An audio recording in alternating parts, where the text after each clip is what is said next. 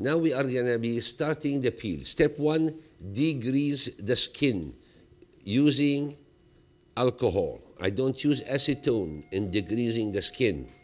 Acetone can create state of irritation and increase the redness and skin sensitivity. The patient is under conscious sedation. She is breathing on her own. She is conscious. I can talk to her.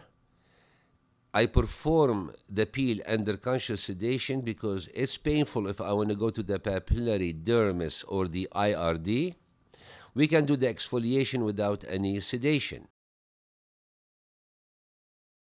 When I perform the blue peel, the solution is already prepared and then utilizing a sponge, I paint the solution nice, gently, and evenly without skipping any area. The solution have to be applied all over the face, including the lower lid and the upper lid.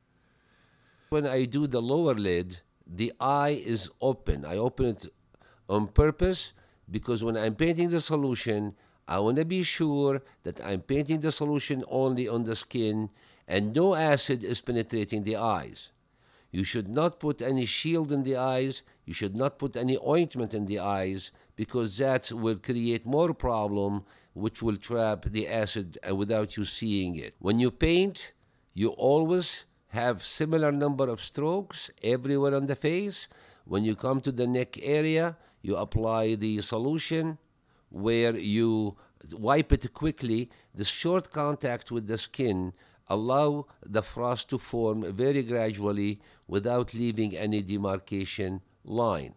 Notice the frost formation and the frost when it is a spickle as you can see is gonna get heavier and heavier the more acid I apply. We're gonna be applying the acid from a already prepared volume I am using here the 20% TCA mixed with the blue base. Notice the frost now starting to spread all over the face and the little dots start to connect.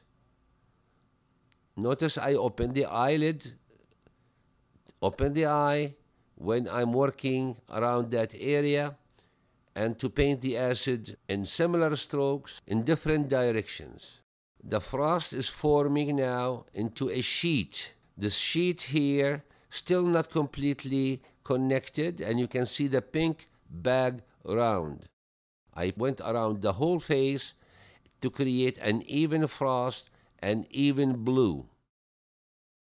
I am trying to even the frost now. And notice when I work on the jawline, I paint, I paint, and try to allow a short contact between the acid and the skin at the area where I don't want to have a demarcation line. If I see a lot of pink and I want to go deeper, I keep painting the acid, the frost will get whiter and the pink will get less.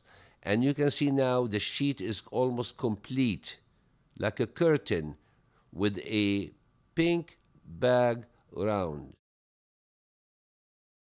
The pink is due to the normal blood flow that's still intact in the papillary dermis. You can see the fine line. When I squeeze the skin or pinch the skin, those fine wrinkles, we call them the epidermal sliding.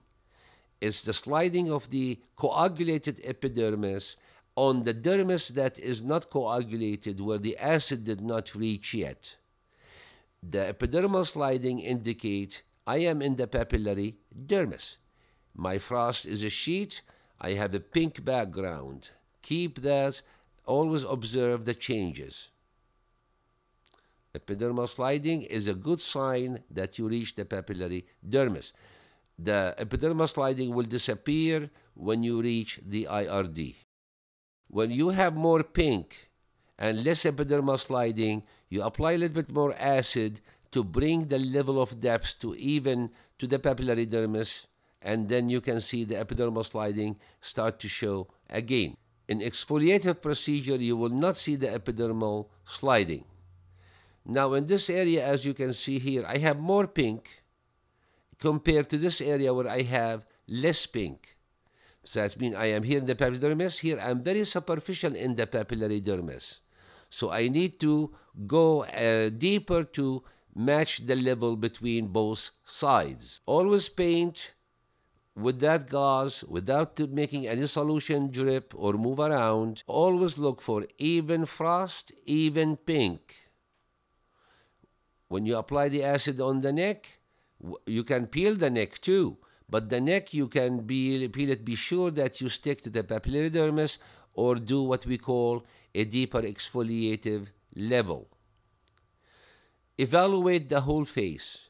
You have to create even frost with even pink, with even blue to ensure that there is no demarcation line between all the level of depth you are trying to achieve. You go to the hairlines, and if you want to go to certain areas deeper, your point will be to paint more. If I paint more in the pre-auricular areas, this area will pull the cheek backward. It's like a facelift. So here, if I go to the IRD, and in front of it, the area is a papillary dermis, it will pull back the skin, and that's the concept of chemical tightening.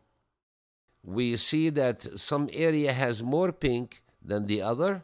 So I would like to bring that level into an equal level to match the right side.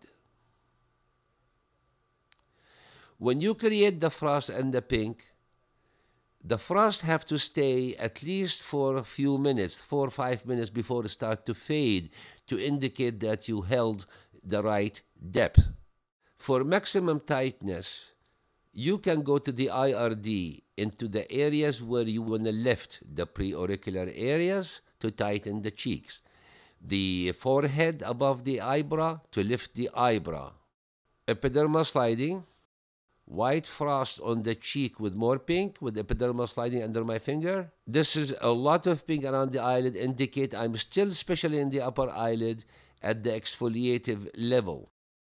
What I do now, I take a Q-tip, cotton Q-tip, and try to touch those areas or the difficult areas to reach with the acid to perfect the peel and create some design. The glabrous skin of the upper eyelid can be treated to the depth of papillary dermis and the IRD, but the, low, the lid proper below the fold, the maximum depth is either deep exfoliation or the papillary dermis. Try not to skip any area, especially in dark skinned people, because what you skip will come back to haunt you. That an area look older or darker than the surrounding skin. If I want to lift the eyebrow, what I will do is I can apply the acid above the eyebrow all the way to the hairline to of the IRD. That will create a lift here I'm trying to lift the eyebrow by applying an acid. Here I'm trying to get rid of the cross feet because there is three ways how you are going to be removing a, a wrinkle in an area. You wipe the wrinkles because it's going to peel off and then you do redraping of the skin by pulling the skin to a different direction and then by the overall tightening of the skin. We have finished the blue peel evenly, papillary dermis in everywhere on the face, papillary dermis where you still see some pink, and you can see we have more pink in the neck area with the epidermal sliding, and you can see that I have the epidermal sliding is being reduced in some areas. That's because in those areas apparently we have reached the IRD.